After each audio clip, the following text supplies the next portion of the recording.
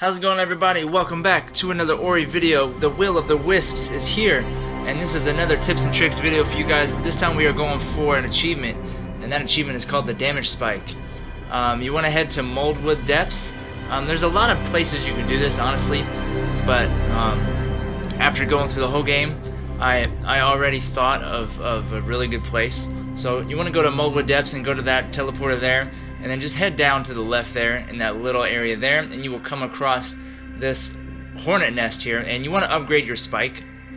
Um, so the achievement for the damage spike you're gonna need your spike obviously but you want to upgrade it to get that explosion going. Um, and you want to kind of just dash back and forth here so these hornets um, continue to spawn out of this nest until you get four or five of them out of there. I think you can only get four or five at the most. And it took me a couple tries here but as you can see they're just kind of fade away. And once they get collected up um, just um, charge your spear and, and let it fly and then you will get that achievement no problem. And there you guys go. Hope you enjoyed this video. And if you like this content hit that like button and I'll see you guys next time